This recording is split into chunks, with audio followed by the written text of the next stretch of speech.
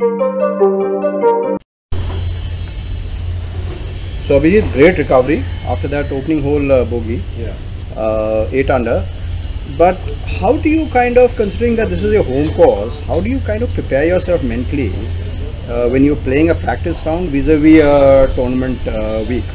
You know, uh, frankly, the golf course plays completely different to what we played as on our practice rounds or on our betting games or usually when we play.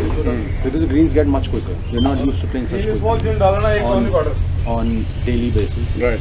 You know, tournament conditions are a little different than what the members played as. So it's actually somewhat of a new course for the local pros as well. Because although the layout remains the same, but small, small things change. Like the fairways are cut a little low, so the ball sits up nicely. The greens are cut a little low, so they're quicker. The grain dies down.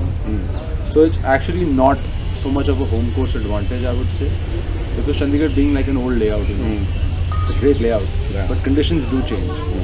But is this your best score in a tournament week?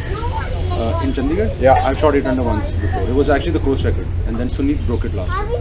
Uh, how long uh, back was that? 2019, last round. Okay. So obviously a lot of things working for you. Uh, you started off well. Yeah. Just got married. Yeah. So you're, you're basically in a happy space. So does that kind of free you up a little mentally? I think it does, but you know, also I've worked really hard at my game. I worked uh, on the right parts which needed needed work, and it's just coming together. Like you know, I shot nine under last round in Jaipur. Mm. This is eight under, so I'm 17 under for two rounds. That just doesn't happen. Right. You know, you, you have to be doing something right for that to Of course. So it's actually a culmination of a lot of things coming together, and it's not only just a high of life. It's actually hard work and high of life, which has come together. Right. All the best.